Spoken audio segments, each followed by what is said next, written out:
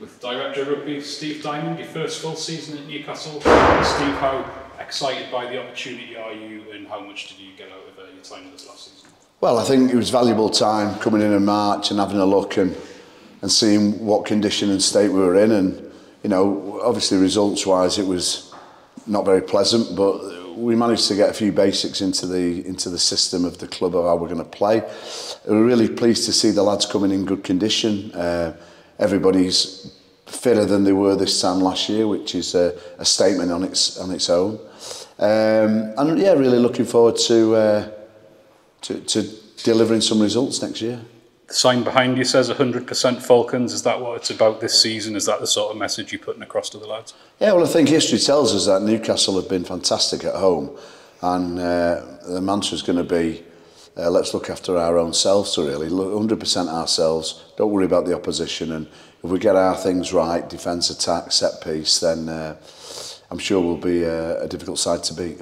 Got a number of new faces through the door this summer as always. Quite a lot that you've worked with before. Was that a conscious choice and why is that important to you?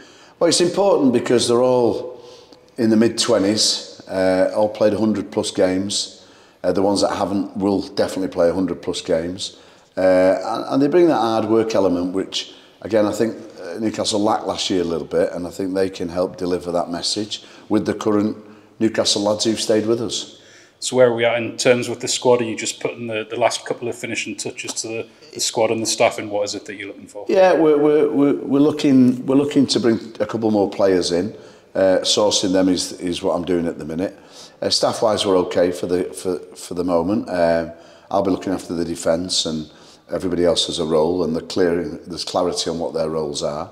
Uh, but for the first three, four weeks, the rugby takes a back seat. It's getting the lads fit psychologically and physically. And, uh, uh, you know, the first three days of this week have, have gone reasonably well. In terms of the director of rugby role, what is it that you do during pre-season? Obviously, it's that time where the strength and conditioners really get a hold of the lads and uh, get some gains in them. Yeah, well, normally at normal clubs you go on holiday. but uh, But it's not a normal club, is it? We've not won a game for 18 months, so it's all hands on deck. We've had a good break. Uh, we've got three weeks hard work, then we get another little break, and the same after that. So the, the, the reward at Newcastle for working hard is to getting time off, and uh, it's a real good incentive for all of us. Winning games is what it's all about, and this season we've got the return of relegation with the sort of deal that's been done with the championship. I know you're someone that's very positive about and you do see the benefits of that. Yeah, I do. I think we need a fear factor and the, the, the, the jeopardy that relegation brings puts a different slant on it. And, you know, you can't, you can't sulk and worry about nothing because you can't go down and there's dead rubber games in the, in the season. Everybody has something to play for. And historically in the Premiership, and I know because I've been in it since its inauguration, is, is, the, is sometimes the games at the bottom of the league get as big a crowds as the games at the top of the league and that's what rugby's about. It's you know we've got a great supporter base up here in the northeast and if we do find ourselves in a in a battle then uh, you know I know we'll be well supported. One facet of pre-season that we brought in last year was the True North Origin splitting into four regions um, Durham, Northumberland, Cumbria, Tyne and Wear you keen to continue that this year? We've just had a few little uh, games in the gym there. What, what do you see as the benefits of that? Yeah the state of origins are great mantra, you know, the, the, the north of England has always been a rugby hotbed and those counties in particular have always delivered internationals and, and, and are still doing.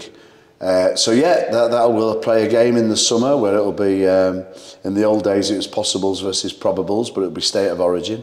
Cumbria, Northumberland versus Tyne and Weir and Durham or whichever combination.